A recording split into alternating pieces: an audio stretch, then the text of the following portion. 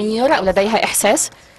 هذا الأمر حتى الآن خارج الواقع. الواقع هو ذكاء اصطناعي يتصرف ليكمل حياة البشر كما هي لتعزيز وتعظيم القدرات وليس ليحل محل حياتنا. في هذه الحالة الذكاء الاصطناعي لديه قدر من الإحساس ولكنه لن يكون شبيها بالإحساس البشري.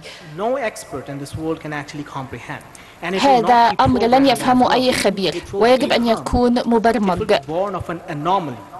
يكون ناجما عن أمر غير طبيعي. يحدث لأن الإحساس البشري ناجم عن تجارب.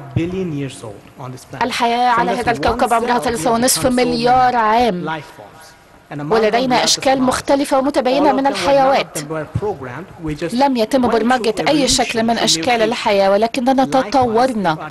نفس الشيء بالنسبة للذكاء الاصطناعي. لو تم يعني تطوير إحساس فسيكون ذلك ناجما عن أمور خارجة عن الطبيعية سأستكمل باللغة الإنجليزية. إذا دكتور محمد لقد انتقلت من جامعة عين شمس إلى سويسرا وبعد ذلك إلى ستانفورد في الولايات المتحدة الأمريكية وأنت متواجد الآن في سنغافورة. وأنت تعمل في خلال منظومات النظام الذكاء الاصطناعي. وهذه النظم ستحدث أثرا كبيرا على حياتنا اليومية. ولذلك أسألك ما هي الحذر الأمني الذي يجب أن نتوخاه داخل هذه المنظومة المتعلقة بالنظام الاصطناعي والذي نستخدمها في كل يوم. عندما تقوم بتطوير نظام نظام ذكاء اصطناعي هناك أربعة مكونات يجب أن تتأكدوا من أن هناك عملية التحديد التي تحدث بشكل سريع ولا يجب أن يستهلك طاقة كبيرة. وأحد العناصر الأساسية هو الأمان ويمكن لهذه الأجهزة أن تتخذ القرارات بشكل سريع. وهنا نتحدث عن مشكلة الأمن السبراني وهذه مسألة معقدة في حد ذاتها وتتطلب جلسة في حد ذاتها. وعندما يتم خلق البيانات وعندما تودون تطبيق الذكاء الاصطناعي وتشفير الرسائل هي مسألة أخرى لكي تجعلوا الأمر صعبا على الأشخاص لتش... لفك الشفرة. رجاء أن تحدثني الآن بلغة الإنجليزية كي أفهم ما تقول حسنا.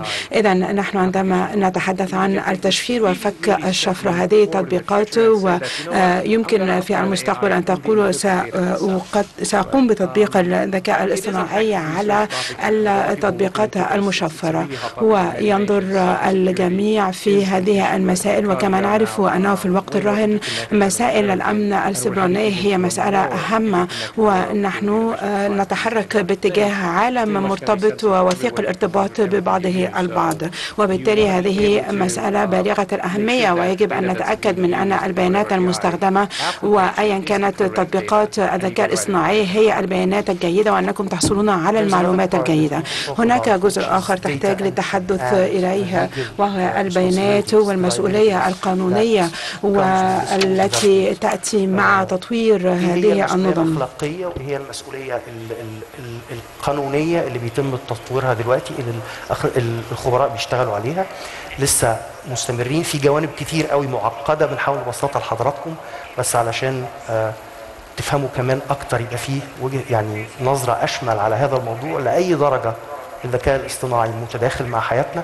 خلونا نتابع في القصير ومستمرين طبعا في النقاش.